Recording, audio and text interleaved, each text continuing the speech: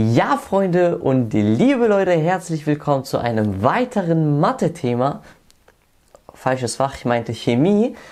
Aber egal, ist mittlerweile eh das gleiche. Wir schauen uns heute das Massenwirkungsgesetz an. Ohne viel rumzureden, ich sage euch wie immer die Aufgabenstellung, wie es normalerweise lauten würde und wie wir jetzt da vorangehen. Ähm, ihr werdet eine Reaktionsgleichung haben oder eben nicht. Ich wird euch gesagt, Stoff A reagiert mit Stoff C, B zu Stoff C. Dann müsst ihr das vielleicht selber aufstellen. Aber im Prinzip, ihr habt dann eine Reaktionsgleichung, ihr habt die Konzentration, die Anfangskonzentration von Stoff A und die Anfangskonzentration von Stoff B.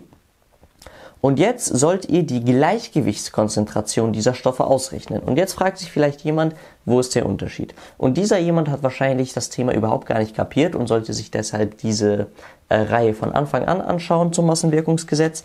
Es funktioniert ganz einfach.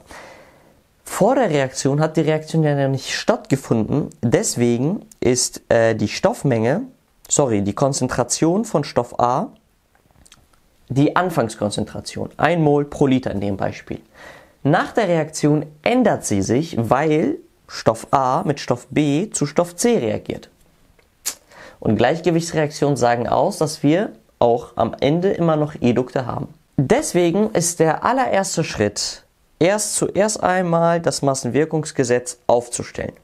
Und das Massenwirkungsgesetz, die allgemeine Form lautet, Kc ist gleich C von c hoch c mal c von äh, d hoch d geteilt durch c hoch a von a mal äh, c hoch b von äh, b, sorry. Und äh, das haben wir schon bereits hergeleitet und abgedeckt. Also gehe ich davon aus, dass ihr äh, das einmal aufstellen könnt. Aber ansonsten ist das ja auch jetzt nicht so schwierig. Ihr seht, wir haben ein a das heißt der Koeffizient hier ist eine 1. Wir haben ähm, ein b das heißt auch hier setzen wir 1 ein. Und wir haben nur ein c also auch hier setzen wir ähm, 1 ein und wir haben gar kein D, deshalb lassen wir es weg. Dementsprechend sieht das Massenwirkungsgesetz jetzt so aus. Macht Sinn.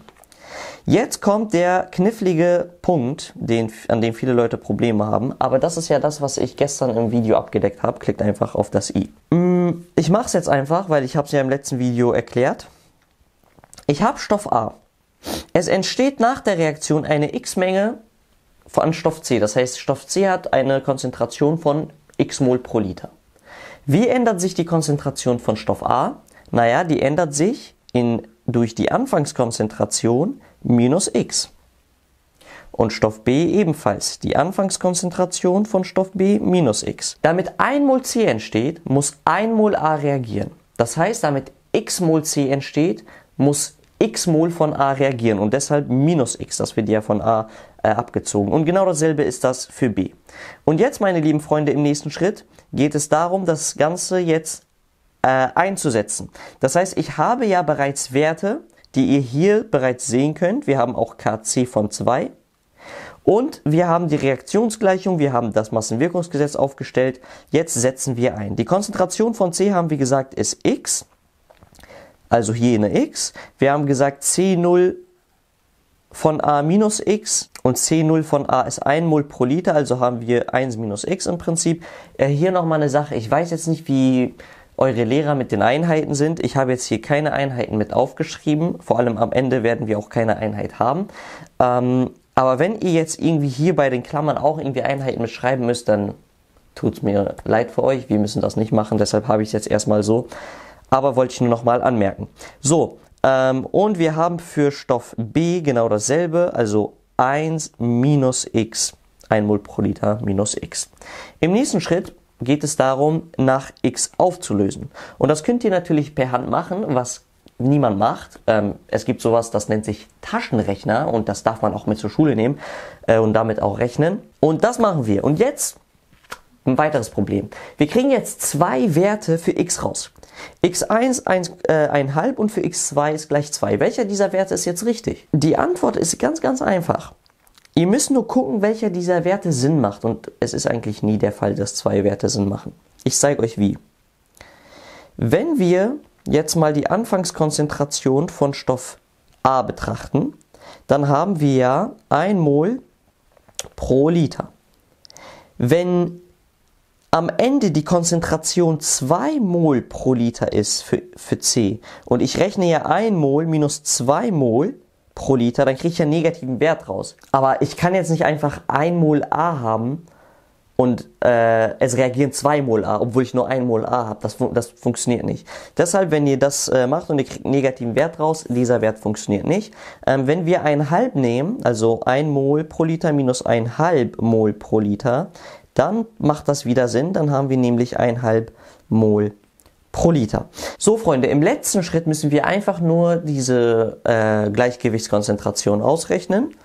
Und das machen wir hier. Also ich habe jetzt hier euch gezeigt, welcher Wert Sinn macht. Und wir haben festgestellt, das macht keinen Sinn. Das macht Sinn.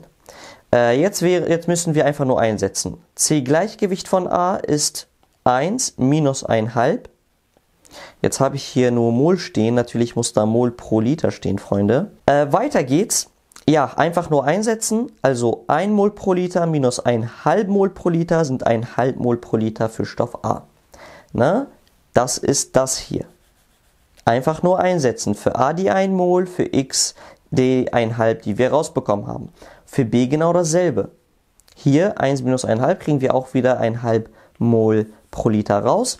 Und für das letzte, die Konzentration C, haben wir als x benannt. Das seht ihr ja nochmal hier. Wir nennen die Konzentration von Cx. Und dementsprechend setzen wir einfach nur den Wert ein, den wir für x bekommen haben. Und das ist auch 1,5 Mol pro Liter. In diesem Beispiel, meine Freunde, nehmen wir jetzt mal ein paar konkrete Werte und auch eine konkrete Reaktionsgleichung. Also mit richtigen Elementen. Ähm, wir haben am Anfang die Edukte Wasserstoff und äh, Jod und die reagieren gemeinsam zu Jodwasserstoff. Gleichgewichtskonstante ist 51 ohne Einheit. Die übrigens, ja, das wollte ich noch mal, bevor wir weitermachen. Gleichgewichtskonstanten können Einheiten haben. Ihr habt im Beispiel hier gesehen, dass wir hier keine Einheit war und das ist auch richtig gewesen. Aber wenn wir jetzt beispielsweise eine Gleichung haben, wo wir ganz einfaches Beispiel ähm, c Quadrat durch c hoch 1 nehmen, dann bleibt am Ende C übrig und das hat ja die Einheit Mol pro Liter.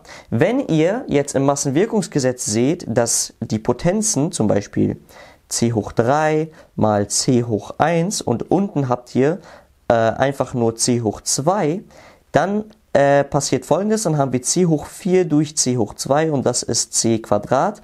Die Einheit für so eine Gleichgewichtskonstante wäre dann Mol Quadrat pro Liter Quadrat. Das heißt, auch hier an der Einheit könnt ihr erkennen, ob ihr richtig gerechnet habt oder nicht. Hier haben wir jetzt keine Einheit. Machen wir weiter. Der erste Schritt ist ja natürlich das Massenwirkungsgesetz äh, aufzustellen und das können wir einmal hier ganz kurz machen. Ähm, Kc ist gleich c von c Quadrat von hi, weil das ist ja unser Produkt, geteilt durch c von h2 mal c von i2. Na? Produkte durch Edukte. Das wäre unser Massenwirkungsgesetz. Und jetzt wäre natürlich im nächsten Schritt die Schwierigkeit, die ich euch am Anfang erzählt habe. Mein Lehrer macht immer gute, eine gute Taktik. Also man schreibt hier so auf ähm, C0 und C Gleichgewicht. Und dann macht man das mäßig so wie eine Tabelle. C0 von H2 ist 1 Mol pro Liter. Ich, ich schreibe das erstmal eins hin, damit wir nicht viel rumschreiben. Äh, von I2 ist das 2 Mol pro Liter. Und 2HI wissen ist am Anfang 0. Ne? C0 ist 0. Vor der Reaktion hat es ja noch nicht reagiert, also ist das noch nicht entstanden. Nach der Reaktion wissen wir gar nicht, wie viel entsteht, also nennen wir es x. Und hier passiert dann 1 minus 0,5x. Und hier auch 2 minus 0,5x. Wie gesagt, geht auf das Video, wenn ihr nicht wisst, wieso das so ist. So, ganz einfach. Und jetzt stellen wir natürlich das ähm, Massenwirkungsgesetz auf. Also die Werte einsetzen. Und dann, meine lieben Freunde, nach x auflösen. Und dann kriegen wir auch hier wieder zwei Werte. Einmal etwa 1,87 und einmal etwa 4,64. Und die Frage ist jetzt, welcher dieser Werte macht Sinn? Ich kann euch, man, wir können direkt sehen, dass 4,64 keinen Sinn macht, weil die Konzentration hier beispielsweise wäre dann 1 minus 1,5 mal 4,64 und das wäre dann wieder eine negative Zahl deshalb macht es keinen Sinn. Äh, bei 1,87 macht das dementsprechend Sinn, das wählen wir. Und mit dem Wert rechnen wir natürlich weiter. Der einzige Schritt, der hier noch fehlt, ist die Gleichgewichtskonzentrationen auszurechnen. Auch hier könnt ihr euch das jetzt in Ruhe durchlesen, weil es ja wirklich nur einsetzen. Also da, wo x steht, habe ich einfach die 1,87 gepackt und so sollte etwa das Ergebnis aussehen. Meine lieben Freunde, ein letztes, äh, etwas komplizierteres Beispiel möchte ich mit euch noch anschauen und dann hätten wir eigentlich alle äh, wichtigen Beispiele durch für dieses Video und ihr solltet dann keine Probleme haben. Wir haben eine Gleichgewichtskonstante von 7,5. Auch hier keine Einheit, das heißt, die Potenzen oben müssen genauso sein wie die Potenzen unten, wenn man die zusammen zusammenfasst. So, wir haben für Stoff A 2 Mol pro Liter, für Stoff B 2,5 Mol pro Liter und wir haben folgende Reaktionsgleichung. Wie gesagt, wir stellen natürlich das Massenwirkungsgesetz auf im ersten Schritt. Ganz einfach. Im zweiten Schritt machen wir dann mal die Lehrertaktik. Ich mache die zwei einmal hier kurz weg.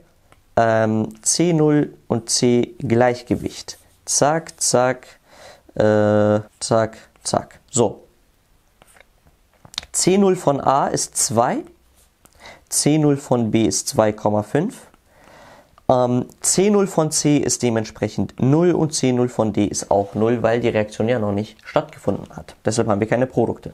Nach der Reaktion entsteht, und jetzt gibt es verschiedene Möglichkeiten, die ich im letzten Video schon gezeigt habe. Ich nenne jetzt einfach das Cx. Es entsteht xc. Ist einfach mit dem Koeffizienten 1.